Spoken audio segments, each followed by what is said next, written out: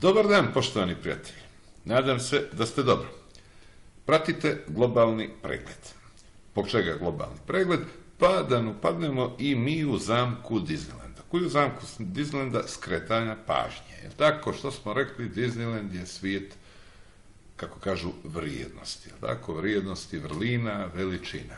Sad kako može da izgleda svijet ovaj, vrijednosti u kojem je sistem napravljen vrijednosti kako je napravljen, kako smo rekli, gdje je osnovna mjerna jedinica sistema vrijednosti postavljena već na jedan, najblaže rečeno, ovaj, čudan način i sa njom može se manipuliše. Razmislite malo, ako je osnovna mjerna jedinica sistema takva, kakav je sistem vrijednosti i naravno razmislite kakve su sve vrijednosti u sistemu i svijetu baziranom na takvom sistemu. Naravno, sve su to dobre vrijednosti. Pustite vi što priča ona budala što će atomsku bombu, umjesto da stvori još koji kredit i podijeli penzije.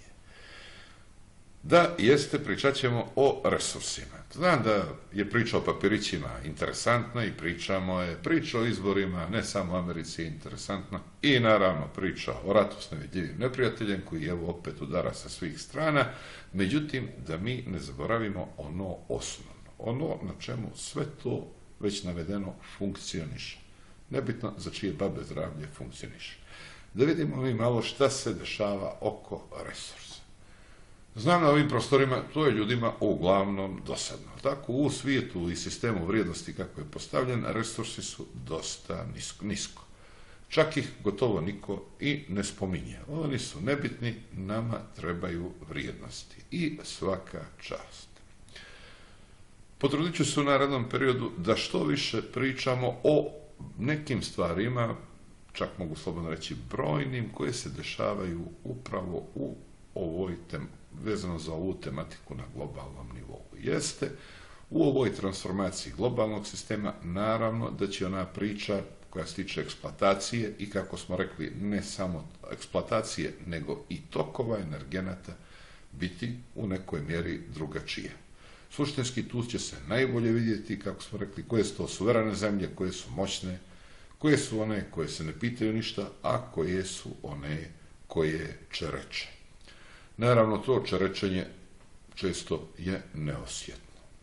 Ko zna što ide ovim žicama? Kako mi kažemo i šaljem često poruku svim prijateljima na Balkanu, ko razmišlja i ko vidi što ovim žicama ide, gdje ide, za čije babe zdravlje ide i tako.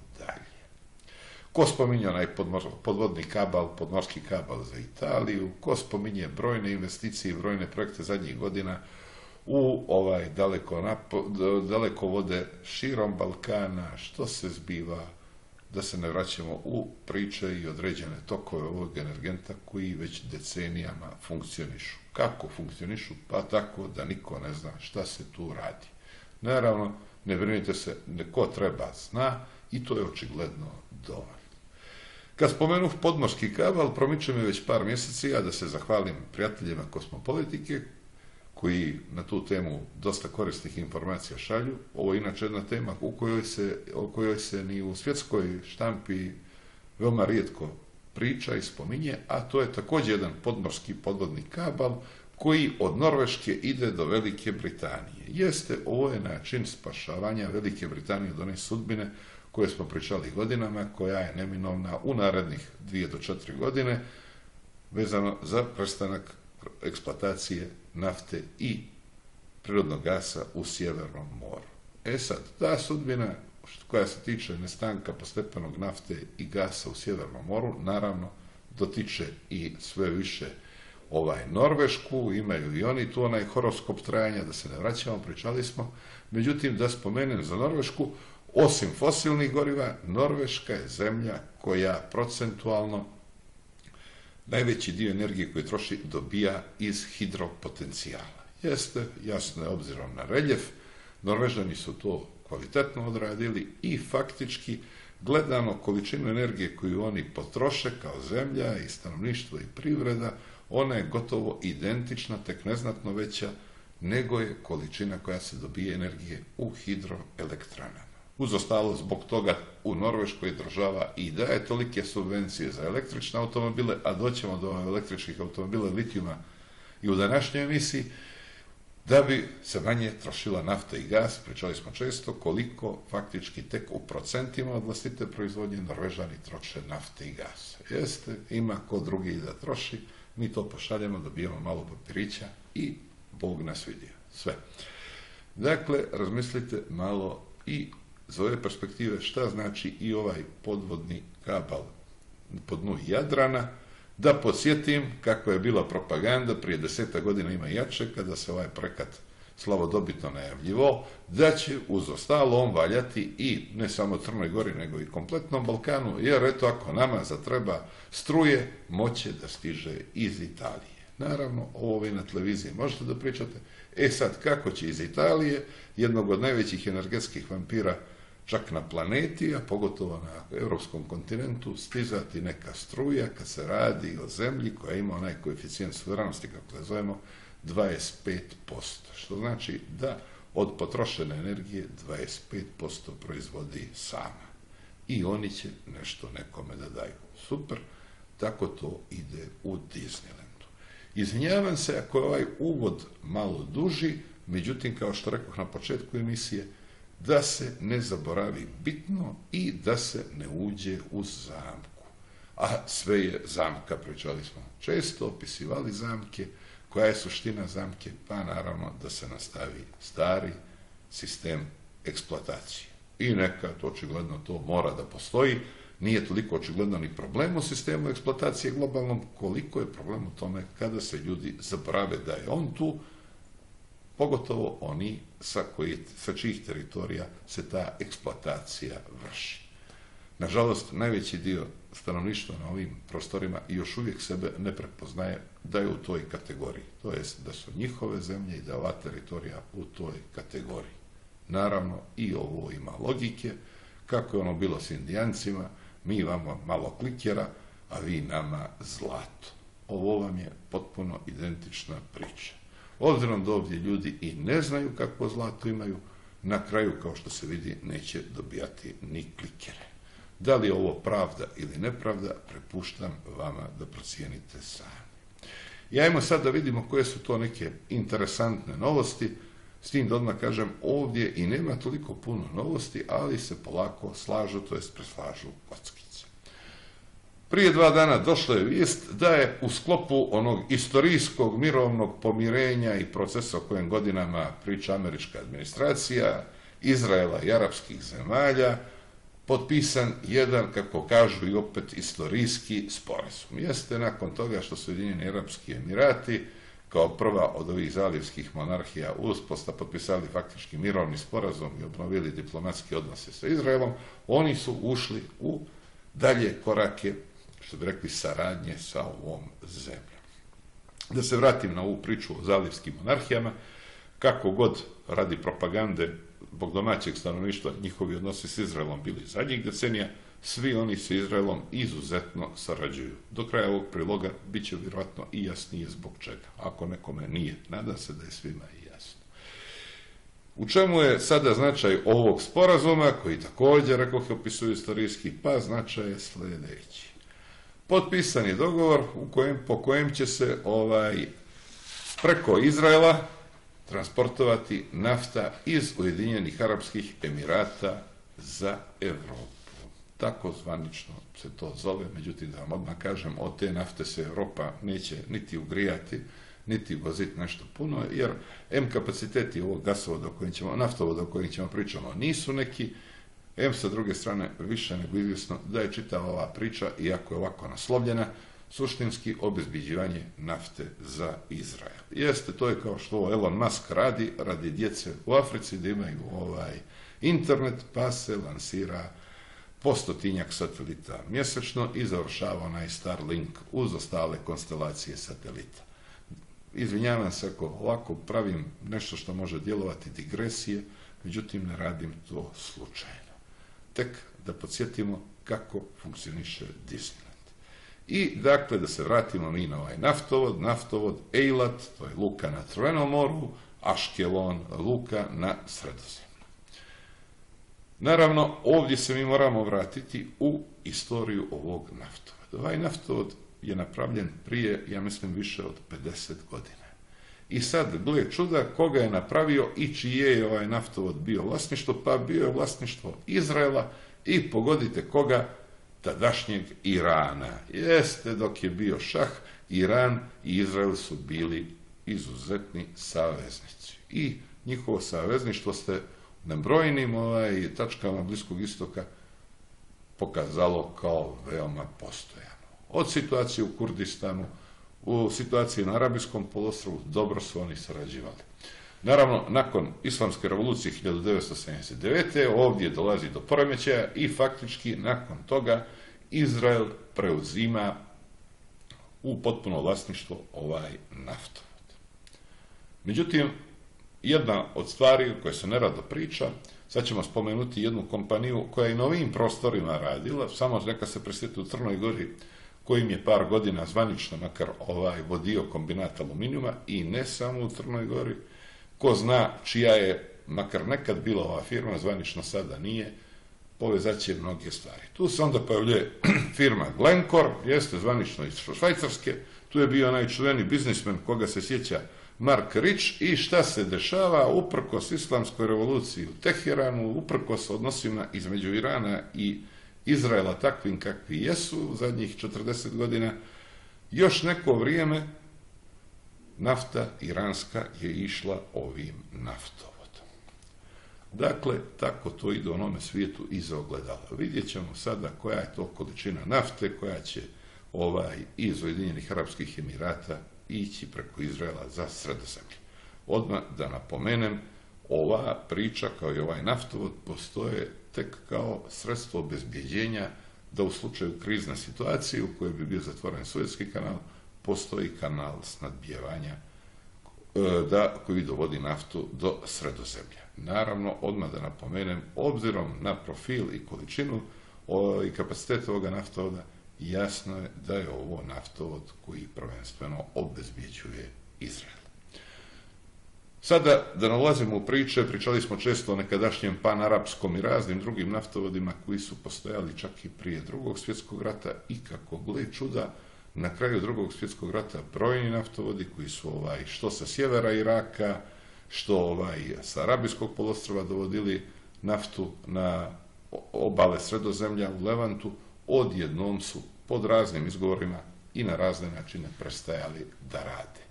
Jeste, ovo je ta priča o kontroli tokova i nadam se da nije zgorega podsjetiti se i spomenuti uvijek kada se vidi da se oko tokova energenata dešavaju razne stvari. Brojni ratovi, čak najčešće većina ratova se vodila upravo na teritorijama preko kojih se e, omogućivalo ili kontrolisali tokovi energenata. Mnogo češće se čak na takvim teritorijama i vodili ratovi, nego na onim teritorijama gdje se energenti nalaze. Naravno, brojni su slučajevi koji su i u ovoj zoni da se ratuje upravo na teritorijama gdje su energenti, međutim ovo vam dođe još elegantnije rješenje za onoga ko kontroliše čitavu priču. I ajmo sad kad smo već ovdje na Bliskom istoku i kad smo već spomenuli Iran, da samo još jednom napomenemo, u nedelju 18. oktobra istekle su sankcije koje su Ujedinjene nacije ovaj, bilo uvele Iranu vezano za nabavku, to je prodaju naoružanja u ovoj zemlji, Spominjali smo to, naravno tu se već Iranci hvale da će od Rusa da nabave S-400, slične sisteme od Kineza i o tome se i priča i piše često u svjetskoj štampi. Međutim, postoji ovdje još jedna situacija o kojoj se malo piše, a radi se o sljedećem. Upravo zbog navedenih sankcija, a i sankcija koje su bile prije, tiču se ovaj E, iranskog vojnog potencijala i naoružanja, Iran je u brojnim ovaj, segmentima razvio proizvodnju izuzetno kvalitetnog vlastitog naoružanja. I sad opet dolazimo do one priče o bespilotnim letjelicama, o dronovima, da napomenem, baš zahvaljujući tome dok su se snalazili kako da ometaju ili obaraju američke bespilotne letjelice, pa su brojne modele uspjeli čak da prizemlje neoštećene, da iskoriste taj inženjering i dorade ga za svoje potrebe, Iran slovi kao jedan od lidera u proizvodnji ovakvih sistema. Dakle, sada se polako otvara prostor da se na svjetskom tržištu i kao prodavac naoružanja pojavi Iran. Eto, prije ili kasnije, ko se trudi, taj i postigne.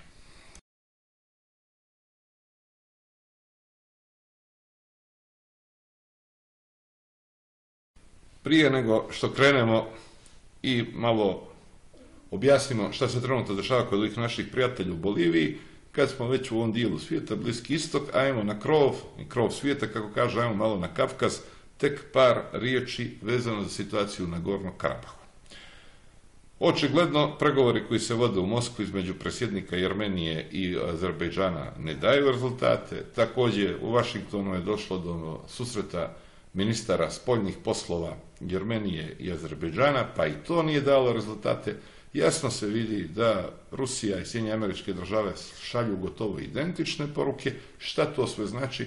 Znači da se oni oko ove situacije ne uzbuđuju puno, ne samo zbog toga što ih nije briga za Jermene i Azerbejdžance, nego vrlo vjerojatno što je čitava ova priča, nažalost, kako to obično biva, sad na ovim prostorima prisjetite se naše prošlosti pa razmislite igrokaz. Koji je igrokaz? Igrokaz je sljedeći. Radi strateškog pozicioniranja na Kavkazu, da podsjetim tokom avgusta, Rusi su na Kavkazu e, imali jednu izuzetno ozbiljnu, veliku i masovnu i masivno, mogu slobodno reći, vojnu vježbu, čini mi se Kavkaz 2020. I nakon tolike demonstracije vojne sile, šta se dešava? Turci dolaze u Azerbejdžan i dešava se ovaj sukob. Jeste, vrlo moguće će ovaj sukob da traje. Biće tu primirja, pa će neko zuzeti jedno selo, protjerati nekoga iz drugog sela, na kraju će se vjerojatno sve završiti kako je bilo, možda neke sitne korekcije granica, čak i nebitno i da budu krupnije, suština je sljedeća. Jermenija će se još čvršće morati vratiti u zagrgaje Rusije, jeste to iz dana i dan postaje da oni bez Rusije ne mogu da opstanu, ovo je tek da ih neko podsjeti, dok sa druge strane Turci će sve skuplje ovaj svoju bratsku pomoć na, na, naplaćivati Azerbejdžancima koji iz dana u dan je sve jasnije, a jasno je bilo i prije, ne mogu bez njih. Interesantno, Rusija i Turska, iako se u ovoj priči zvanično nalaze, ne možemo reći na suprotnim stranama, jer se Rusija trudi da primiri obje strane u konfliktu, makar zvanično, Rusija i Turska nikako da se posvađaju. Nikako da gospodin Putin uzme onaj telefon i pozove gospodina Erdogana i riješi problem ovaj, pregovarajući oko cijene paradajza i čarter letova iz Moskve za turske turističke destinacije. Dakle, ova priča je u paketu učvršćivanja položaja većih sila na teritorijama manjih i nemoćnih država. Šta je ovdje bitno Rusiji? Također bitno je da se čitava ova njena pozicija u ovom dijelu svijeta pogotovo ne pojavi onako kako to često interpretiraju kod nas, da je sada ona zaštiti hrišćana ili pravoslavnih, zovite to kako god hoćete, u sukobu s muslimanima, upravo se zbog toga Rusija ovako ponaša, jer je njoj prioritet da se upravo ne stekne ovakav utisak, već da njen utjecaj u islamskim zemljama u Srednjoj Aziji, na Bliskom istoku, što Iranu, što među Arapima, ovaj, ostane na nivou koji je sada i čak se pojača. Kako da se pojača? Pa da podsjetimo, pogotovo Arapi i njihov odnos sa Turcima, kakav je i kako se razvija, možemo slobodno reći iz mjeseca u mjesec, to što se vi zvanično s Turcima svađate, sada se u arapskom svijetu ovaj, doživljava s velikim simpatijama.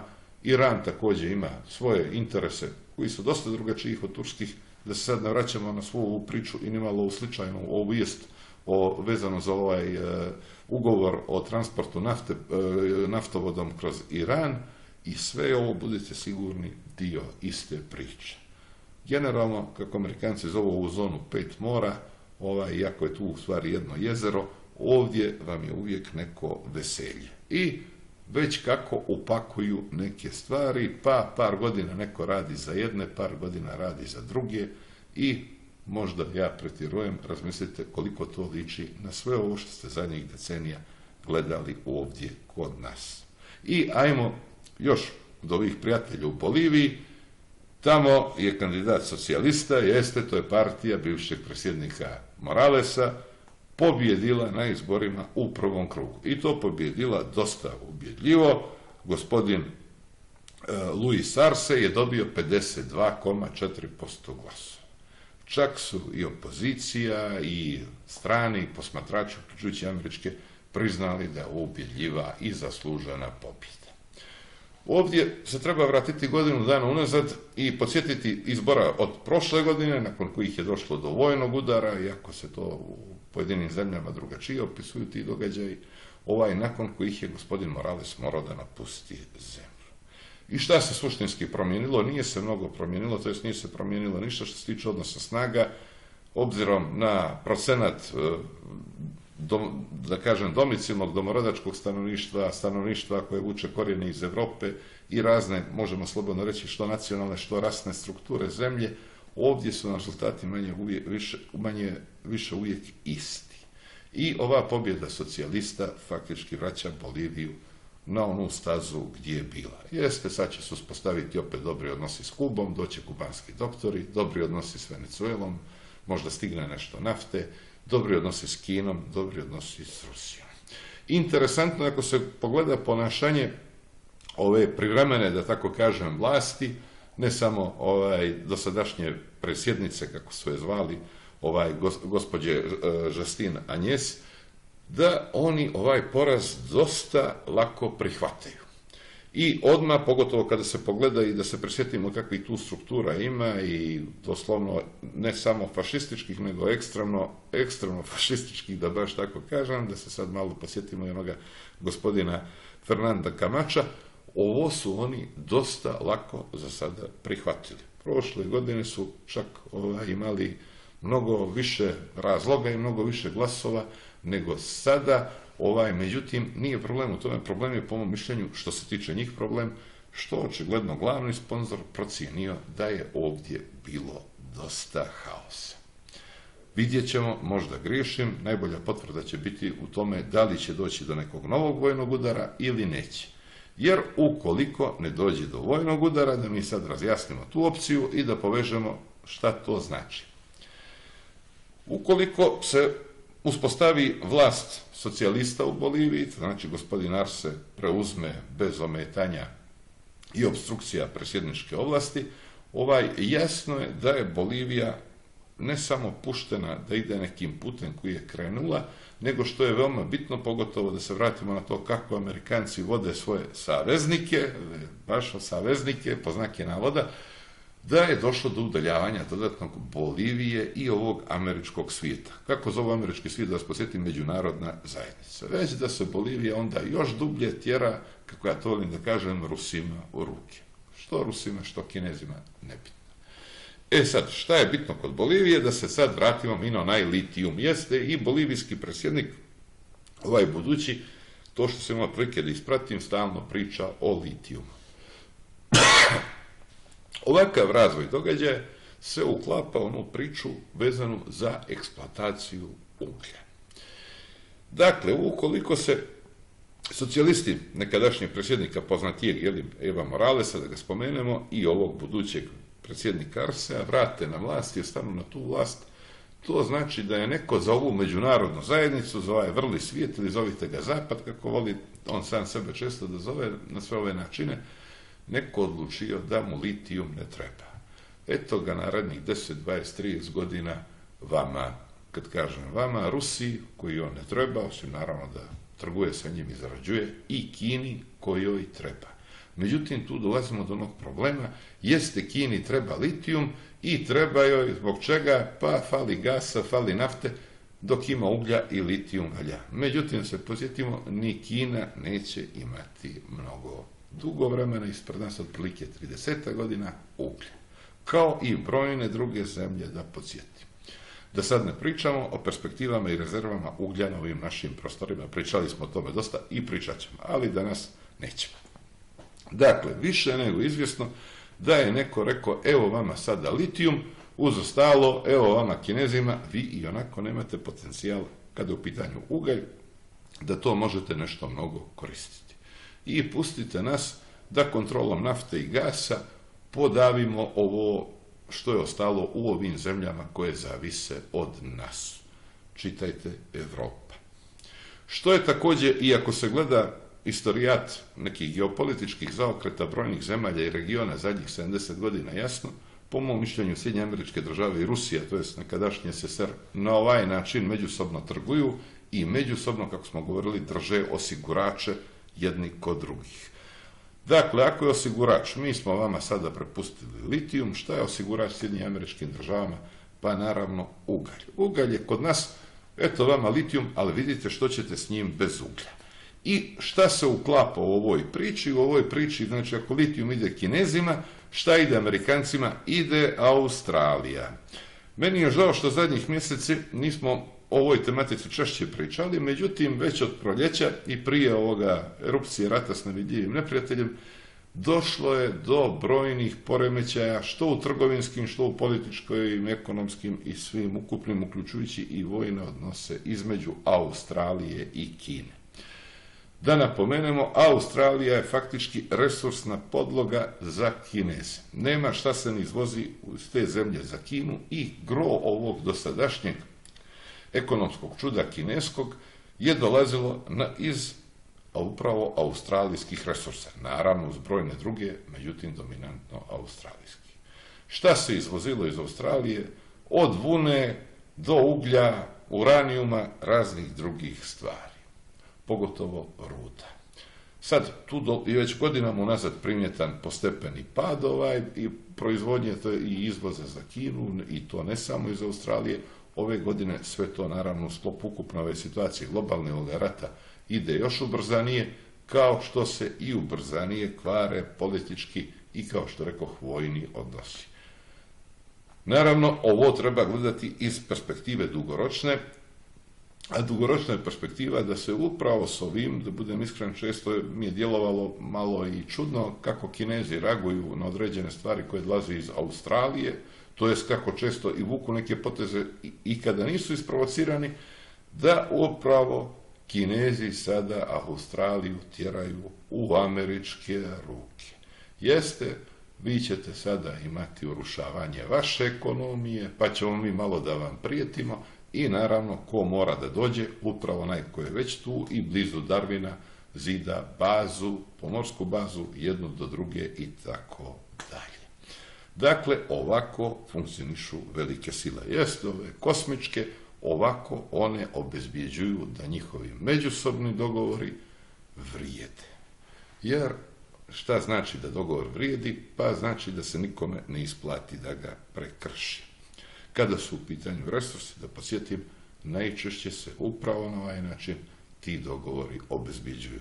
Evo malo vama, malo nama. I to ćemo čak ako treba vama dati ono što je bliže nama, a vi ovaj vi ćete kontrolisati ono što je bliže vašoj teritoriji, a od tuda ćemo se hraniti mi. Upravo zbog toga i brojne čudne stvari koje to pratio i koga interesuje kada pogleda kako na globalnom nivou ide nafta, pa vidite da se nekad vuče sa suprotnog strane, kraja svijeta nafta za određene zemlje, uključujući neke moćne i velike zemlje, dok iz nekih bližih teritorija se to ne uvozi. Dakle, ovo je priča o resursima, ovo je priča o tokovima. Nisam previše pričao o nama, ali ćemo pričati. Skuplja se, da ponovim, sve više podataka šta se u ovoj mini Schengen fazi dešava, priprema i mogu slobodno reći već zbiva ovdje. Tokom ovoga rata s nevidljivim neprijateljem, najveći dio ovoga nadam se da će postati vidljiv. Za sada toliko, srdačno vas pozdravljam i želim sve najbolje.